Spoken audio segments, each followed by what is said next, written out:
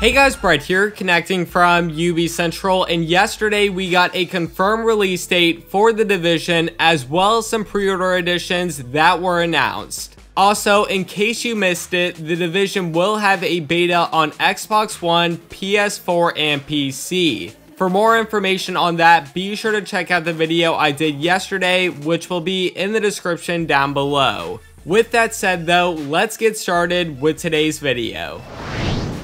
The Division will release on March 8th of 2016, which is only 266 days away. Now that may seem far for some of you, but trust me, it will be here before you even know it.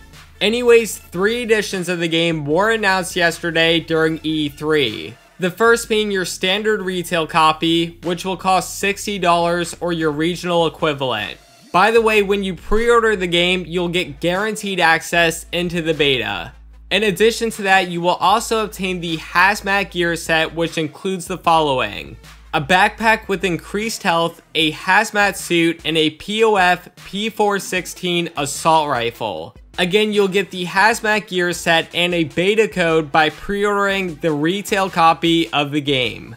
Moving on, we have the Gold Edition for $100. This includes everything I just mentioned from the retail version with the addition of the Season Pass. Now, I'm sure most of you know what a Season Pass is, but if you don't, for some odd reason, it will grant you any future DLC for free. And last but not least, we have the Collector's Edition coming in at $160. This edition will include the Hazmat Gear set, Beta Access, and Season Pass just like the Gold Edition, but it also features a real agent watch, a poster, an agent armband, and an art book. Now, I'm definitely going to be picking up the collector's edition of the game, but I'm curious which one you will get and why. As always, to stay up to date on everything Ubisoft, make sure to subscribe right here on UbiCentral.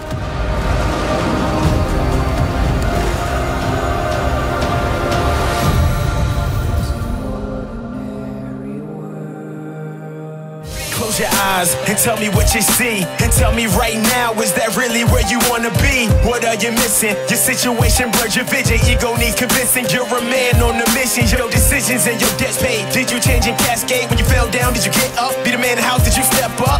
Too much pressure bearing on your atlas. You wanna change the world, but you can't from your mattress.